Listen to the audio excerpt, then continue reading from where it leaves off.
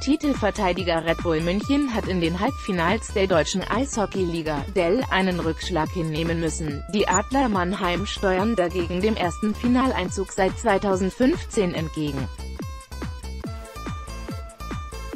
In Spiel 2 der Best-of-Seven-Serie gelang den Augsburger Panthern in letzter Minute das 4 zu 3 1 zu 1 1 zu 1 2 zu 1 Sieg dagegen München und damit der Ausgleich in der Serie.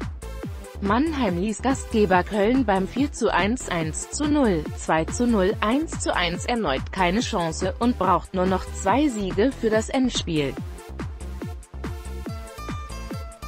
Keine 48 Stunden nach dem denkwürdigen ersten Marathon-Match über 101 Minuten, dem siebtlängsten Spiel der Dell-Geschichte, entwickelte sich in Augsburg erneut eine enge Partie. Mark X 18. und John Mitchell 22. 48 schossen München 2 zu 1 und 3 zu 2 in Führung. Für Augsburg waren Matt Fraser 17. Matt White 22.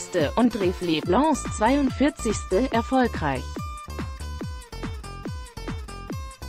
Als alles auf eine erneute Verlängerung hindeutete erlöste Leblanc die Augsburger, 26 Sekunden vor Schluss gelang dem US-Amerikaner in Überzahl das Sieg da. Matchwinner der Mannheimer war Markus Eisenschmidt. Der deutsche Nationalspieler traf in einer Powerplay-Situation zum 1 zu 0 9. und bereitete die Tore Nummer 2 und 3 durch Chet Kolarik 23. und Andrew Deschade 35. vor. Ben Hanowski, 46. ließ Köln noch einmal hoffen, die engagierte Schlussoffensive der Haie blieb aber ohne zählbaren Erfolg.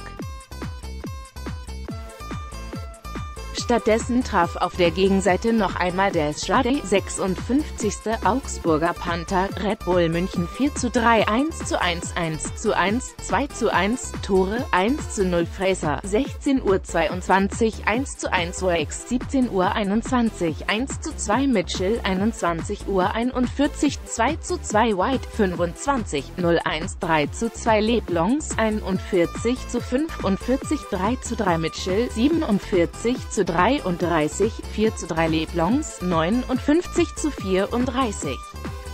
Zuschauer, 6139.